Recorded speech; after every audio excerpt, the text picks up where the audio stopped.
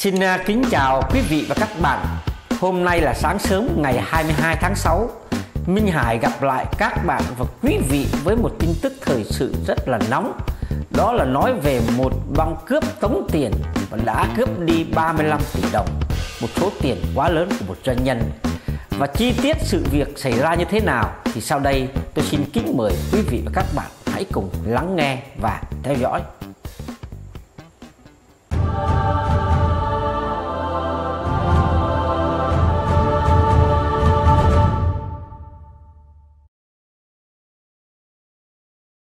Thưa các bạn, đây là một vụ bắt cóc và cướp một số tiền quá lớn lên tới là 35 tỷ đồng của một doanh nhân. Đúng là một sự việc rất là gây chấn động trong dư luận của một trà băng cướp như thế này. Và nhiều à, nghi can à, bị bắt là do tham gia vụ à, dàn cảnh chặn ô tô trên đường cao tốc, bắt một là gia đình doanh nhân và ép nạn nhân là chuyển tiền bằng ví điện tử là 35 tỷ đồng cho chúng. Một số tiền rất là lớn và băng nhóm này là cũng đã từng là chơi những đồng tiền ảo. Và người doanh nhân này cũng là sử dụng đồng tiền ảo nên mà có một cái ví điện tử. À, và quy đổi nó thành tiền Việt Nam là đến lên đến 35 tỷ đồng. Và cái ngày à, 21 tháng 6 đó thì là cục cảnh sát hình sự à, bộ công an là đã bắt được 7 người trong băng giang hồ thuộc nhiều tỉnh thành để à, điều tra là hành vi cướp tài sản. Và nhóm này là khai nhận là cùng nhau bàn bạc này, mỗi người một việc và không à, có là người cầm đầu.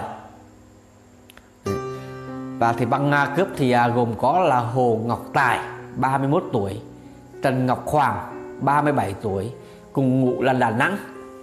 Nguyễn Văn Đức 24 tuổi, Đắk Lắk Mai Xuân Phát à, Mai Xuân Phốt 28 tuổi Quảng Nam. Trịnh Tuấn Anh 35 tuổi. Bùi Quang Trung 24 tuổi. Trương Chí Hải 31 tuổi. Là cùng ngụ là tại thành phố Hồ Chí Minh. Đó. thì à, theo à, điều tra ban đầu của bên à, cảnh sát á, thì à, một buổi trưa giữa tháng 5 á, gia đình nhà doanh nhân à, là ngụ tại thành phố Hồ Chí Minh. Lái ô tô là từ Lâm Đồng về Sài Gòn khi à, đến đoạn đường dẫn vào cao tốc Long Thành á, dầu dây á, thuộc tỉnh Đồng Nai, xe va chạm một ô tô khác.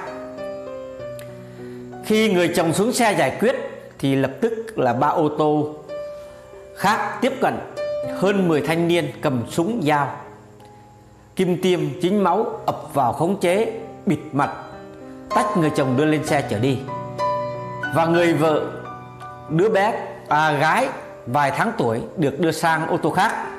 Chiếc xe của gia đình nhà cũng được nhóm này là cử người lái theo sau đó là lên cao tốc nhóm về hướng thành phố Hồ Chí Minh.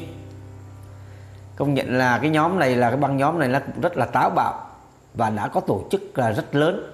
Tại vì là có một là dàn cảnh để là ép xe vợ chồng này rồi à, chúng mới là chạy xe đến là hai ba xe lại mà ép và trên đường đi thì người chồng bị chúng đánh yêu cầu là cung cấp mật khẩu ví điện tử. Thì tại vì là cái xài đồng tiền à, à, ảo này á thì tôi cũng đã có biết rồi. Có một cái ví điện tử riêng và chuyển tiền là từ máy điện thoại hoặc trên máy tính. Người này qua người khác và chỉ cần là mật khẩu là có thể là chuyển được à, đồng tiền ảo này rồi. Và chúng đã là quy đổi cái đồng tiền là cướp được của là vợ chồng này là đổi ra tiền Việt là đến 35 tỷ đồng và chúng đã là là bắn cái cái cái địa chỉ ví tức là đồng tiền ảo qua một địa chỉ ví khác và khi đã có tiền á, chúng bắt người chồng điện về cho người thân yêu cầu chuyển thêm là 9,5 triệu USD vào ví để chiếm đoạt tiếp. Tuy nhiên, trong lúc bị là uy hiếp, ông này đã la lớn đừng đánh nữa khiến người ở nhà sinh nghi. Dừng giao dịch. Trong hơn 2 giờ trên cao tốc thì chúng ép buộc không được à, là, là nên là đã bỏ lại gia đình nạn nhân ở khu vực vắng người tại là quận 2 rồi tẩu thoát. Tức là chúng đã lấy được là 35 tỷ và chúng bỏ người thân lại người già lại chúng đòi là lấy thêm là 9,5 triệu là USD nữa. Công nhận là một cái doanh nhân này thì quá giàu phải không các bạn? Và chiếm đoạt một số tiền thì quá lớn. Và sau khi thì à, nhận được tin báo cục cảnh sát hình sự xác định đây là băng cướp có thủ đoạn manh động nên à, báo cáo với lãnh đạo bộ công an lập chuyên án. Và trong lo lúc lúc đó là thiếu tướng là ngọc hà cục trưởng cục cảnh sát hình sự đã trực tiếp chỉ đạo là phòng 6 phòng trọng án làm là chủ công điều tra. Công nhận là cái băng cướp này là gớm thiệt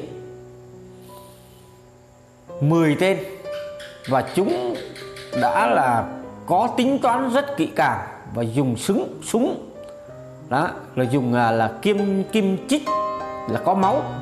Để chúng dọa là à, chủ dọa doanh nghiệp này là máu này là máu của HIV à, nếu không khai là chúng sẽ chích vào nên là ông à, chủ doanh nghiệp là rất sợ. Đó, rất sợ.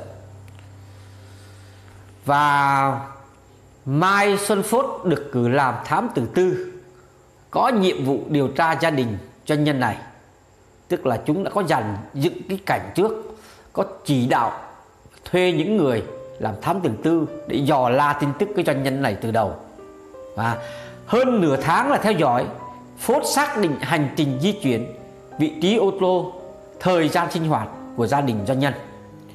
Nhóm còn lại thuê giang hồ là nhiều tỉnh, tập trung lại khách sạn trên đường Bùi Thị Xuân, quận 1 bàn bạc lên kế hoạch. Và chúng biết cái doanh nhân này à, cũng à, vợ con đi Lâm Đồng về.